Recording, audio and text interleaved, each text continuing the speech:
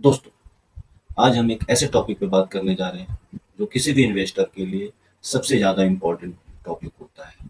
वो है हमारा फंडामेंटल एनालिसिस आज की वीडियो में हम सिंपलेस्ट वे में समझने की कोशिश करेंगे कि क्या होता है आखिर फंडामेंटल एनालिसिस क्या करना होता है।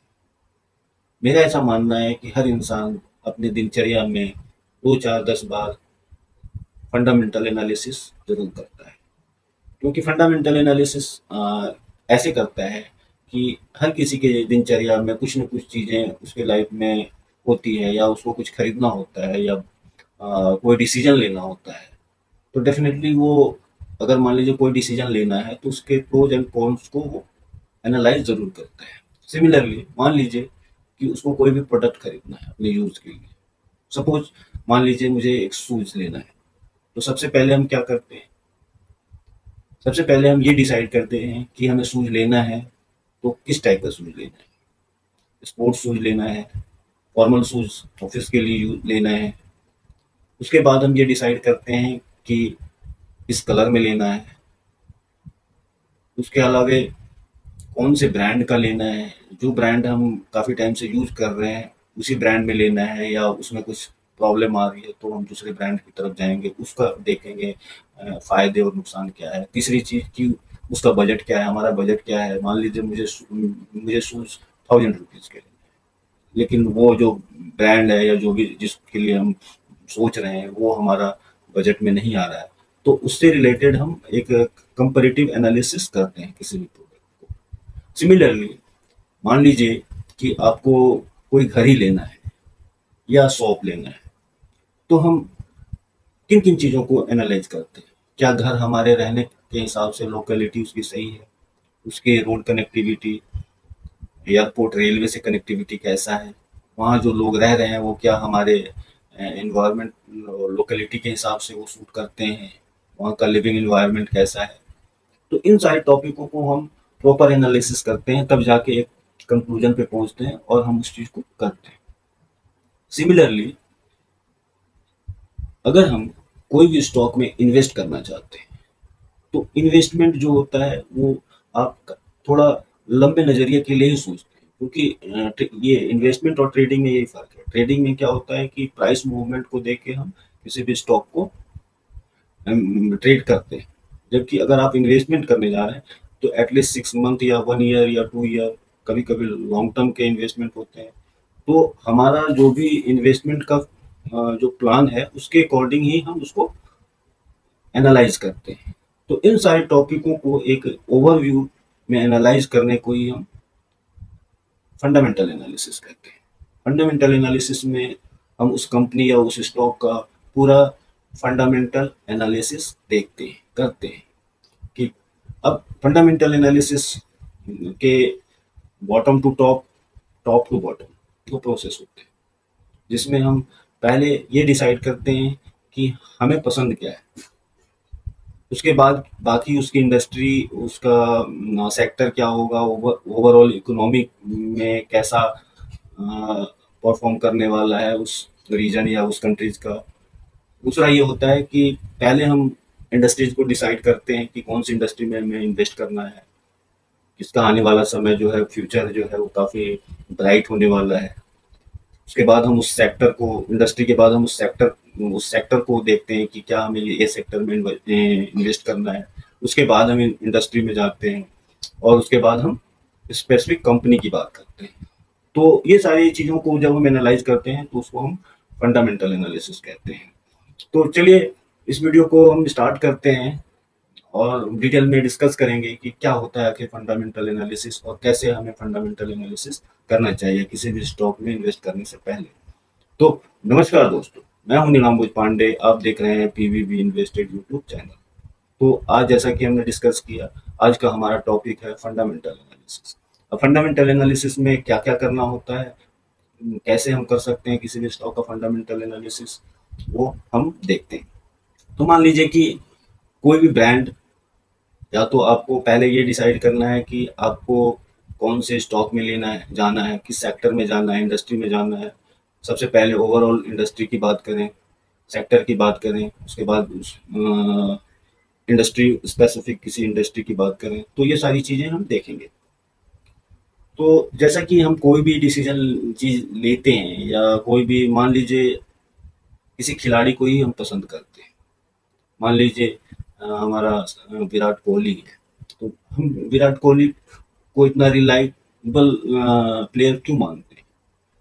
क्योंकि उसका, हम देखते हैं, उसके पास्ट डेटा में, उसके पास्ट परफॉर्मेंस को देख के हम ये डिसाइड करते हैं कि ये बंदा का जो पास्ट परफॉर्मेंस है, उसका एवरेज क्या है, उसका स्ट्राइक रेट क्या है, उसने कितने मैच खेले हैं और हर मैच में एवरेज क्या रहा है, उसके हिसाब से हमारी एक उम्मीद होती है कि इस मैच में वो एक अच्छा परफॉर्मेंस दे सकता है। उसके प्रीवियस फॉर्म कैसे रहे हैं तो इन्हीं सारी चीज़ों को जो हम एक स्टॉक के फॉर्म में जब हम एनालाइज करते हैं तो उसी को हम फंडामेंटल एनालिसिस कहते हैं। तो फंडामेंटल एनालिसिस इसलिए भी इम्पोर्टेंट है कि किसी भी स्टॉक में जब आप एंटर करते हैं तो आपका नज़रिया थोड़ा लंबा होता है और आप एक अच्छे रिटर्न के लिए करते हैं। नहीं, ये नहीं कि हमें दस दिन के लिए, पंद्रह दिन के लिए और पाँच परसेंट, दस परसेंट का हमें प्रॉफिट मिला और हम प्रॉफिट बुक करके निकल गए। उस केस में हमें बहुत ज़्यादा डिपेंडेंसी फंडामेंटल एनालिसिस की नहीं होती। लेकिन जब आप किसी भी कंपनी में लॉन्ग टर्म के लिए जाते हैं तो आप आपको ये सारी चीज़ें एनालाइज करना इसलिए भी ज़रूरी होता है क्या पता उस कंपनी का मैनेजमेंट कैसा है, उस कंपनी का परफॉर्मेंस कैसा होने रहा है पिछले सालों में। उसने जो बात कही है, उसको क्या फुलफिल कर पाया है वो नहीं पास्ट में। उस पर कोई लीगल कंप्लायंस का इश्यू नहीं है। वो जो भी एथिक्स एंड होते हैं, उस चीज़ को वो फुलफिल करता है या नहीं करता है तो इन सारी चीज़ों को हम जब एनालाइज करते हैं तो हमें एक डिसीज़न लेने में आसानी मिलती है। उसके हिसाब से जितना अच्छा हम फंडामेंटल एनालिसिस करेंगे, उतना ही एक्यूरेट हमारा डिसीज़न होगा। तो इस हिसाब से देखा जाए, क्योंकि आज के समय में ना किसी को थोड़ा स्टडी का आदत नहीं है। वो फटाफट शेयर मार्केट में आता है और सोचता है कि वो बस फटाफट डबल ट्रिपल करके पैसा बहुत बड़ा आदमी बन जाए। इस चक्कर में ही पिछले कुछ सालों में लगभग डेढ़ lakh crore future and option में लोगों ने डेढ़ लाख करोड़ रुपए का लॉस जो छोटे इन्वेस्टर थे एफ़ एन ओज में वो लॉस कर चुके हैं, जो काफ़ी दुख देता है। एक एनालिस्ट के तौर पर कि नए नए लोग आते हैं और किसी के बातों में आके वो फंस जाते हैं या वो अपने ग्रिड के कारण फंस जाते हैं और उनका नुकसान हो जाता है। क्योंकि आपका वो हार्ड अर्न मनी है, उसको आप वही इन्वेस्ट करें जो अब इसमें शेयर मार्केट की कोई गलती नहीं अगर देखा जाए, क्योंकि अगर शेयर मार्केट की गलती होती तो लगभग पिछले चार पाँच सालों में ये जो मार्केट सात हज़ार, आठ हज़ार पे ट्रेड कर रहा था छब्बीस हज़ार, सत्ताईस हज़ार पे निफ्टी चल रहा मार्केट ने तो अच्छा परफॉर्म किया बट आपका डिसीज़न गलत था आपको वो सीखना होगा। आप बहुत जल्दी एक्साइटेड करने वाली न्यूज़ पे या किसी भी चीज़ को आजकल वैसे ही लोगों का जो जितना भी बड़ा बहुत बड़ा बोला बोलेगा उसको लोग उतना ज़्यादा फॉलो करते हैं। आप, न्यूट्रल होकर बात करेंगे तो आपको कोई उतना भाव नहीं देता। तो उस हिसाब से देखा जाए तो आपको एक कॉन्सियस और फॉर्म डिसीज़न लेने के लिए फंडामेंटल एनालिसिस काफ़ी इंपॉर्टेंट चीज़ होती है। तो चलिए हम स्टार्ट करते हैं। अगर अभी तक आप लोगों ने इस चैनल को सब्सक्राइब नहीं किया है और अगर हम, हमारा एनालिसिस आप लोगों को अच्छा लगता है तो प्लीज़ सब्सक्राइब ज़रूर कीजिए और मोटिवेट कीजिए मुझे भी और कमेंट भी कीजिए ताकि मुझे फीडबैक मिलता रहे लाइक कीजिए और अपने लोगों को हो सकता है तो शेयर भी कीजिए। तो चलिए देखते हैं कि हम कैसे फंडामेंटल एनालिसिस कर सकते हैं। तो वन बाय वन हम डिसाइड थोड़ा वीडियो लंबा हो सकता है बट प्लीज़ बियर में और लास्ट तक ज़रूर बने रहें और देखिए कि कैसे कुछ कुछ एक टॉपिक एक वीडियो में हम सारे टॉपिक को डिटेल में कवर नहीं कर पाएँगे। इस वीडियो में मैं कोशिश करूँगा कुछ इंपॉर्टेंट पॉइंट्स को डिस्कस करूँ, ताकि अगर आप लोगों ने अच्छा रिस्पॉन्स किया तो मैं एक एक पॉइंट को डिटेल में भी आप लोगों के लिए वीडियो बना कर लाऊँगा जिससे आप लोग खुद से अपना डिसीज़न ले सकें। तो चलिए, देखते हैं। पहला हमारा जो फंडामेंटल एनालिसिस का होता है, उसमें जैसा कि हमने पहले भी अभी डिस्कस किया कि इकोनॉमी का एनालिसिस करना ज़रूरी है। जैसे बहुत सारे लोग होते हैं जो अलग अलग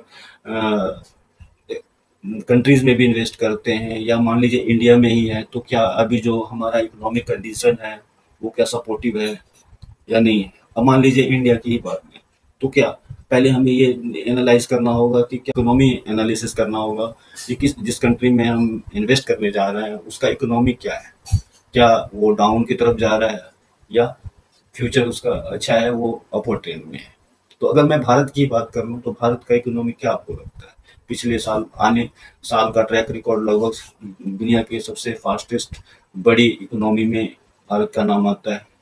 आने वाले समय में भी ऐसा फ्यूचर हमें ये पता, ऐसा लगता है कि आने वाला समय भी भारत की इकोनॉमी बढ़ने वाली है।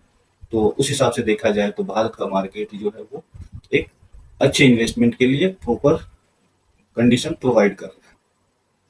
दूसरा इंडस्ट्री एनालिसिस अब मान लीजिए भारत ही है इसमें बहुत सारे ऐसे सेक्टर हैं जो ऑलरेडी इतने हाइक पे आ चुके हैं या बहुत सारे ऐसे इंडस्ट्री हैं जो जिनका फ्यूचर आने वाले समय में शायद उतना अच्छा ना हो जैसे कोल इंडस्ट्री हो गया और आ, फ्यूल फ्यूल में जो है फॉसिल फ्यूल पेट्रोलियम और इन सब चीज़ों का।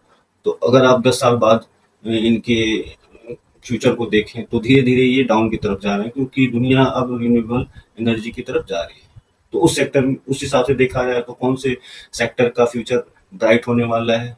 तो वो है हमारा रिन्यूएबल एनर्जी सेमीकंडक्टर्स टेक्नोलॉजी से रिलेटेड जितनी भी कंपनियाँ हैं, उनका फ्यूचर ब्राइट है। फार्मा है, क्योंकि चाहे आदमी कुछ भी हो मेडिसिन ज़रूरी है, वो बीमार पड़ेगा ही, और आजकल तो और भी बीमारियाँ हो रही हैं तो मेडिसिन की आवश्यकता होने वाली है। इंफ्रास्ट्रक्चर डेवलपमेंट में भी भारत में अभी काफ़ी कुछ अपॉर्चुनिटीज़ आने वाले समय में दिखता है। तो इंडस्ट्री एनालिसिस कर लिया, उसके बाद फॉर्म एनालिसिस तो फॉर्म एनालिसिस में क्या होता है कि आप इंडिविजुअल किसी कंपनी का एनालिसिस करेंगे। अब कंपनी का एनालिसिस किस तरीके से कर सकते हैं? मेन चीज़ वही है। ये सारी चीज़ें इकोनॉमी काफ़ी हाई लेवल पे हो गया। उसके बाद इंडस्ट्री का एनालिसिस हो गया। इंडस्ट्री एनालिसिस में आप इंडस्ट्री का कौन कौन से इंडस्ट्रीज़ में ग्रोथ दिखता है, आपको उस चीज़ को एनालाइज करेंगे। उसके बाद इंडिविजुअल कंपनी जैसे मान लीजिए टाटा ग्रुप है तो टाटा ग्रुप के पास लगभग फोर्टी से ज़्यादा कंपनियाँ हैं जो उसकी हैं। उसके साथ उसके एसोसिएट कंपनियाँ तो बहुत सारी हैं। अब आप टाटा के कौन सी कंपनी जैसे मान लीजिए आने वाले समय में टाटा पावर जो रिन्यूएबल एनर्जी के सेक्टर में एक अच्छा काम कर रही है, वो EV Tata Motors EV sector में काम कर रही है। हालाँकि टाटा मोटर्स का जो है अभी पेट्रोलियम और उससे पे भी काम है बट आने वाला समय जो वो, समय को पहले ही भाप के एनालिसिस करके वो रिन्यूएबल एनर्जी और ईवी की तरफ़ जा रही है। तो वो भी एक अच्छा मतलब एक फॉर्म का एनालिसिस करना। कहने का, मेरे समझाने का ये एक रेफरेंस है। मेरा कोई अगेन मैं ये डिस्क्लेमर दे दूँ कि मेरा कोई भी इस वीडियो के थ्रू किसी भी स्टॉक का बाय और सेल का रिकमेंडेशन नहीं है। This video is only for educational यह वीडियो सिर्फ़ और सिर्फ़ एजुकेशनल पर्पज से बनाया जा रहा है। तो उस हिसाब से हम पहले फॉर्म के फ्यूचर को एनालाइज करते हैं। इसके बाद आता है वैल्यूएशन वैल्यूएशन जिस जिस भी स्टॉक या फॉर्म की कंपनी की बात करें, उस, उसका वैल्यूएशन क्या है? मान लीजिए कोई कितनी भी अच्छी कंपनी है, लेकिन वो अभी काफ़ी हाई वैल्यूएशन पे है तो उसमें एंट्री करने के बाद आपको उस, उसमें उतनी प्रॉफिट अलग प्रॉफिट नुकसान तो नहीं होगा। अगर अच्छी बड़ी कंपनी है, अच्छी कंपनी है तो आपको नुकसान नहीं होगा, लेकिन वो आपको उतनी बेनिफिट प्रॉफिट नहीं दे पाएगी। तो आपको वो भी वैल्यूएशन सही वैल्यूएशन पे ही आपको स्टॉक मिले, तभी आप उसमें इंटर करें। क्योंकि क्या होता है कि आप, मान लीजिए कोई अच्छी कंपनी है, लेकिन वो ऑलरेडी इतने हाई पे पहुँच चुकी है कि अब वहाँ से उसको बढ़ना काफ़ी एक चैलेंजिंग टास्क हो जाता है। फिर वो एक साइड वेज में चली जाती है और फिर कुछ कुछ मतलब वो लंबा टाइम लेगी। अगर आप किसी भी अच्छे स्टॉक में अगर लो रेट पे मिल रहा है और उसमें जब आप एंटर करते हैं तो आप, आपको जो ग्रोथ के चांसेस हैं मल्टीप्लायर वो ज़्यादा हो जाते हैं। उसके बाद ग्रोथ अब ठीक है वो कंपनी का वैल्यूएशन अच्छा है उसका फ्यूचर अच्छा है लेकिन उसने पास्ट में क्या ग्रोथ शो किया?